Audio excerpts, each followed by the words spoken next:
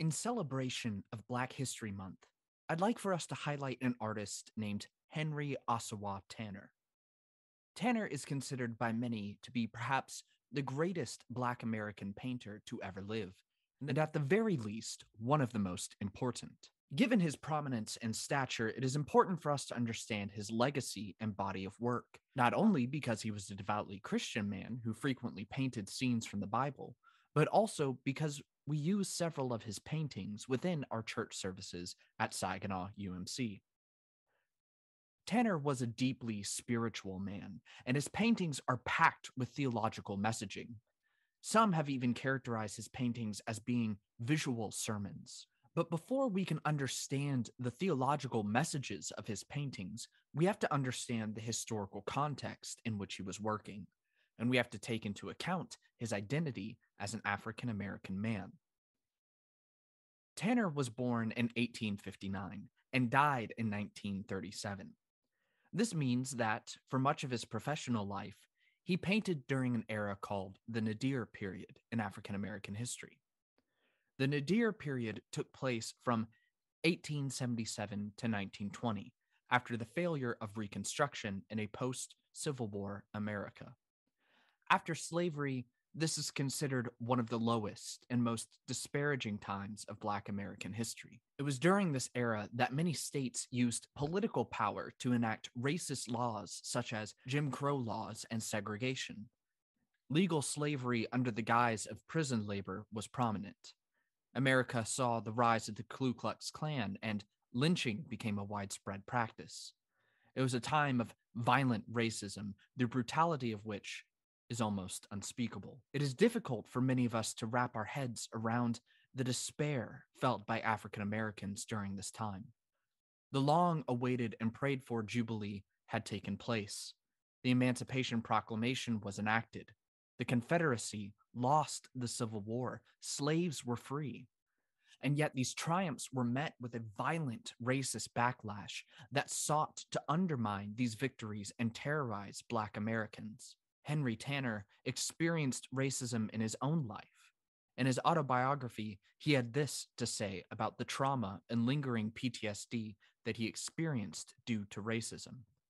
Quote, I was extremely timid and to be made to feel that I was not wanted, although in a place where I had every right to be, even months afterwards, caused me sometimes weeks of pain. Every time any one of these disagreeable incidents came into my mind, my heart sank, and I was anew tortured by the thought of what I had endured, almost as much as the incident itself. End quote. This racism was partially a motivation for Tanner later moving to Paris in order to make his art, because race was not as much a factor in the Paris art community. Thus, it is into these horrific and disparaging circumstances that Tanner speaks his word of truth in the form of painting. Through his art, he communicates and testifies to the sacred worth of Black Americans and the divine love that enables them to, as Paul says in 1 Corinthians 13, endure all things. The banjo lesson from 1883 and the thankful poor from 1884 serve as good examples. In the banjo lesson, we see a sacredness communicated through this tender moment shared between a grandfather and a grandson. In the thankful poor, Tanner's painting freezes time to highlight and showcase the faith that enables his people to endure so many years of hardship. Notice how Tanner holds a commitment to portraying the subjects in his paintings as real people with individual personalities and not mere racial stereotypes. However, Tanner not only painted Black American subjects, he is perhaps best known for his religious paintings against the harsh realities of racism and despair, and also against the harsh realities of his own battles against poverty and depression. Tanner brought the Word of God in visual form. One such example is his portrayal of Daniel in the lion's den. The imagery of Daniel in the lion's den was personal to Tanner. During this time in his life when he made this painting, he was caught in the lion's den of racism, poverty, and a failure to make headway in the art world. As Naurice Woods Jr. wrote about the painting, quote, by placing the protagonist in a dark dungeon full of wild, threatening beasts, Tanner metaphorically relates his personal struggles, continued bouts with racism, lack of sales that relegated him to a life of near destitution, ill health, and no official acknowledgement of his talent. These are related to the plight of Daniel. Henry Ossawa Tanner was also fascinated with the faith of Mary, Jesus' mother. One of the paintings of Mary praying next to the infant Christ is used in our worship services at Saginaw UMC during the prayers of the people. However, Tanner's most famous painting of Mary is his depiction of the Annunciation. The unseemly and mundane room of Mary is radically transformed by the sudden appearance of an angel.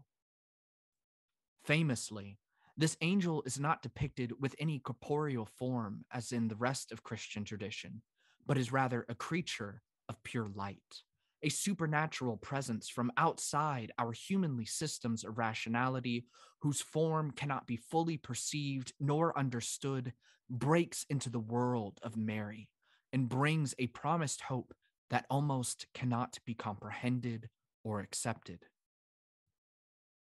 The depiction of the angel is shocking enough, but Mary's reaction is equally startling.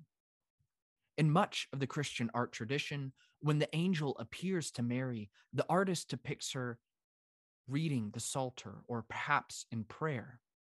However, Tanner's depiction of Mary shows someone in deep melancholy. When contrasted to the being of light, Mary's figure possesses a concrete heaviness of existential weight? Can this hope of the promised Messiah be accepted? And if so, what is the cost of this salvation? Personally, I believe that Mary's depiction here is influenced by Tanner's own experience during the Nadir period mentioned at the beginning of this video. The slaves experienced a great deliverance from slavery, and yet it was met with the violence of segregation and lynching. African Americans had experienced a hope that had been crushed. When I see Tanner's painting of the Annunciation, I see him wrestling with the question of whether we can hold on to hope in the midst of despair. When the painting of the Annunciation is placed in dialogue with the painting of Mary used in our worship services, I think we can see a profound testimony from the witness of Mary that yes, we can hold on to hope. Despite the chaos of the world around her, Mary chose to raise Jesus. Mary chose hope in the face of despair. And through her prayers over the infant Christ, we are reminded that salvation and deliverance is possible. So, as this Black History Month comes to a close, let us be grateful for the testimony of Henry Ossawa Tanner, who used his God given gifts to remind us of how Scripture testifies to the sacred worth of all people and the divine hope that is found even in despair.